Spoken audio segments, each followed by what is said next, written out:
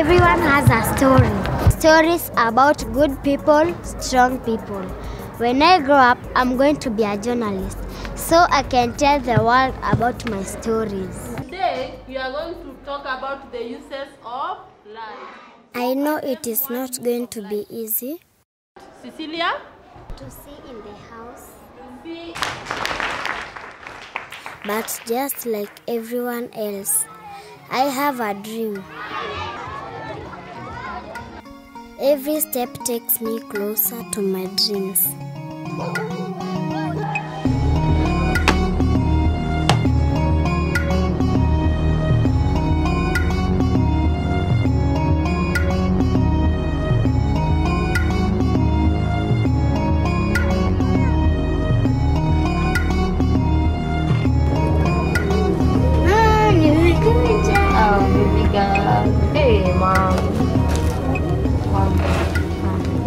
In Mokuru, sometimes we have problems. Sometimes houses catch fire, sometimes people chase us. However, we have good people and good stories.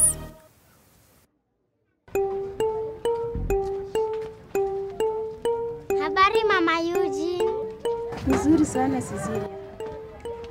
One day I will write about Eugene. Ako na hajatembea, hajaongea. Mimi naitwa Karen Mora, naishi fuata nyayo ama Eugene. Saa ingine jirani wataweza kutarau, wanaona nikipea huyu huyu ataweza sema jirani ninampea. Sasa inabidi uache kibarua ndio mkae na mtoto juu mtu hawezi kubali mtoto mgonjwa. Hata wewe huwezi kubali kuacha mtoto mgonjwa kwa nyumba. Saa ingine kijiji kitaweza chomeka mtoto ako hapo an-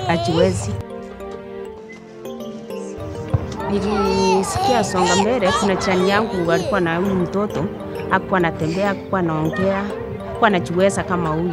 Songa Mbele has been in operation for the past seven years, since 2010, and the reason is because the government school around never had opportunity. They never had special units, unlike today, uh, to take care of these children with disability. They never had special needs teachers, and they never had even facility to help them.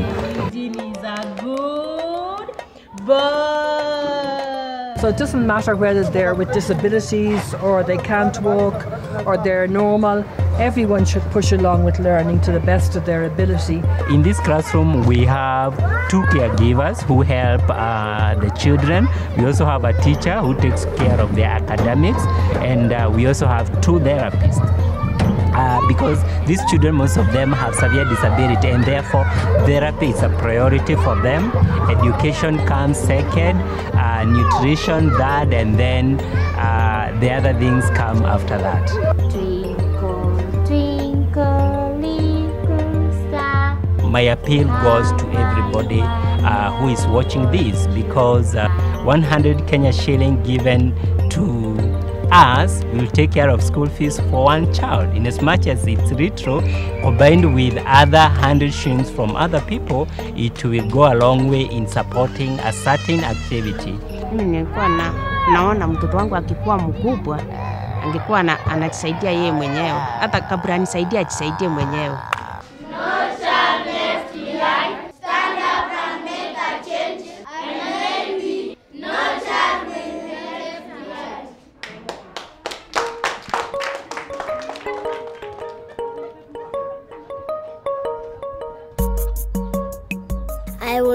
To write about Kevin. Three of his friends are dead. They were shot by the police. Mimi nilikuanga na kikundi mbaya na mimi enyewe nilikuanga street, nilikuanga damside na ndola, nilikuanga ni deck. Sa venye walichapanishanga mtaa yote ikaharibika sana. Saa polisi wakatafutanga wakapatanga kijana mmoja wakampigisha nini, wakampiga risasi mbili za kichwa, mwingine ya, ya tumbo, akakufanga hapo. Mwingine akapatangwa akashikwa. Siku ya kurukisha mwaka kauliwango kijana mwingine, nikonga tu na yeye, nikonanga hiyo maisha yenyewe si poa. Baye Januari nikaka mingi huku nikastay nikaona hii place iko sawa sahii nafanya carpentry hapa mimi sasa ninaona nikimaliza hapa naweza fungua shule yangu kaa hii children's home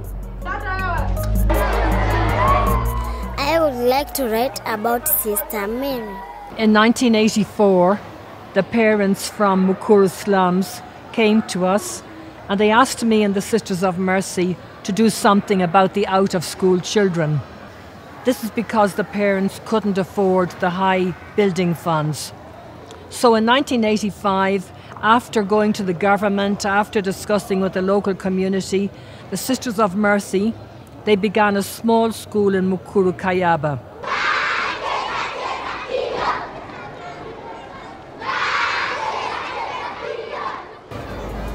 Cecilia, you can see this village now.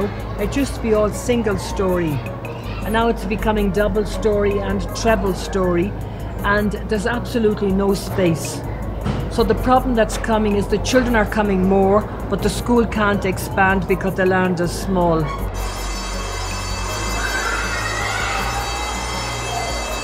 watoto wamekuwa wengi. Saa hii namba ni 1686.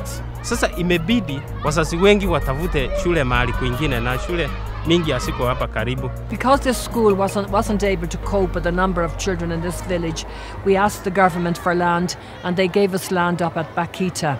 There's- So we're very happy when we look at these children coming from a very deprived background and we know they can achieve anything. They can go to the top of Kenyan society.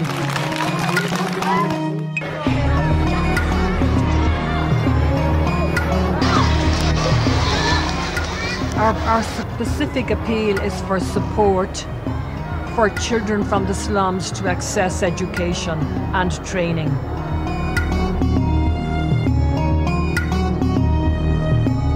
We need to continue to maintain the five and a half thousand children in our four schools in primary and the 460 children in this secondary school. In secondary school, they need about 250 euros. That is about 25,000 Kenya shillings per year. In primary school, we need 50 euros. That is about 5,000 Kenya shillings per year. This is to pay for the small expenses that we need. And because we have 700 children sitting for KCPE, we need a new high school so that most of the children of the slums near us can get a, high, a primary education and a high school education. So, Cecilia, in 1990, 1985, we started Mukuru schools. And then we found a lot of problem with the children who had diseases. And when we were sending them to other clinics, we paid a lot of money, but then we never knew if they were treated. And then some of the children actually died. By 1991, we had seen it was necessary to have a clinic. So we have this clinic here, and we also have a mobile which goes out to the slums. And since we have this clinic, it's wonderful because we also do school health. Now, there are over 600,000 people uh, in Mukuru community, which is made up of um, 20 villages roughly. So, when you look at the numbers, uh, we're only scratching the surface of what's, what's possible. On Tuesdays, we have antenatal clinics for the mums and, and the babies. And then on Thursdays, we have uh, hypertension and diabetes. And on the other days, it's general Some of the health issues here include vomiting, diarrhea, typhoid, and cholera, especially during floods. Most of the people here cough a lot. Some also get TB or pneumonia. Now, if people don't, if they're not healthy, then they can't work. Now, if they can't work, therefore they can't live. For the last six months, we know that we're averaging about 1,800 patients a month. So when you work that out into weekly, it, it, it's quite a quite a number. Uh, that's just at the clinic. Then you would add to that the home based.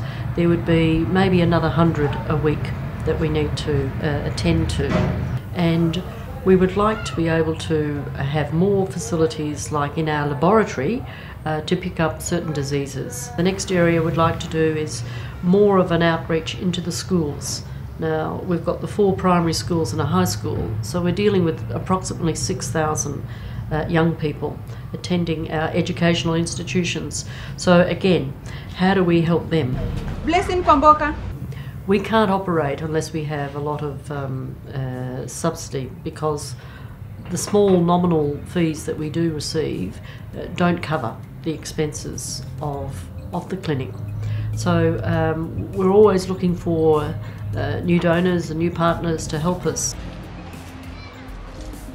This project was started because there were a lot of unemployed youth around and um, they needed to be occupied. So they started doing all kinds of art. And at the moment, they're doing sculpture with papier mache and with wire. And the gallery now is where the completed works of the artists are.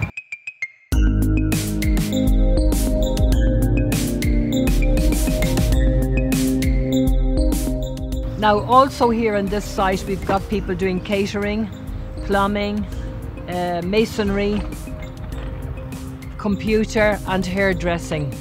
And all of these skills enable them to get employment.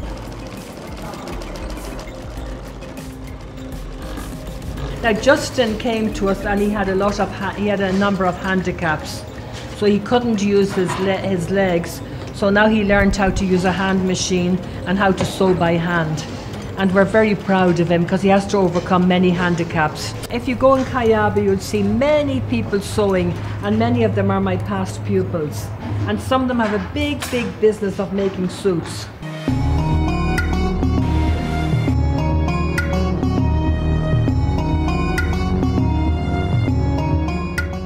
My mom is a hairdresser. Will you get them like?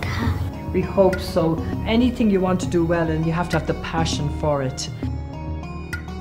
Every job now needs computer. So our idea in computer was to enable the students to get employment in different aspects of ICT.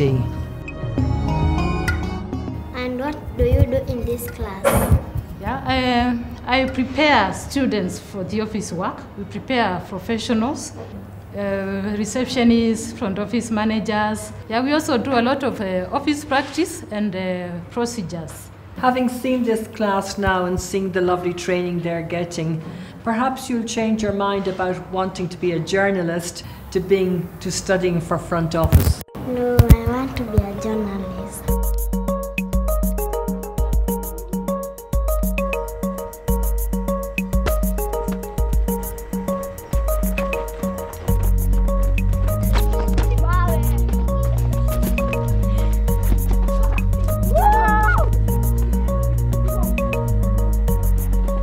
Una film nini?